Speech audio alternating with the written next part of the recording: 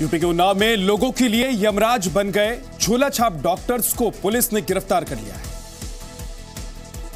40 से ज़्यादा लोगों को एचआईवी पॉजिटिव बनाने वाला झोला छाप डॉक्टर राजेश यादव अपने रिश्तेदार के घर में छिपा हुआ था, जहाँ से पुलिस ने इसे गिरफ़्तार किया।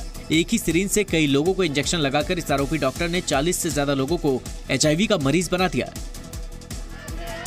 वहीं दूसरी तरफ़ इस घटना से नाराज़ लोगों ने बांगरमऊ में सड़क पर प्रदर्शन किया और सरकारी स्वास्थ्य केंद्र के प्रभारी को हटाने की मांग की। हाँ यही जाँच करवाया और कहूँ नहीं जाँच करवाया।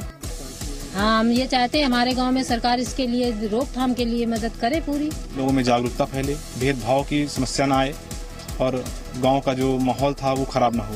हालाँकि गाँव में बड़ा भय का माहौल है। लोग हिचकिचा भी रहे हैं जाँच कराने के लिहाज से। स्वास्थ्य विभाग से भी बातचीत हुई है। वो अपना काम अच्छे से करने की कोशिश कर रहे हैं। बांगर मौके प्रेमगंज मोहल्ले में एचआईवी की जाँच के लिए पहुँची सरकारी एड्स नियंत्रण सोसाइटी के खिलाफ भी लोगों ने प्रदर्शन किया।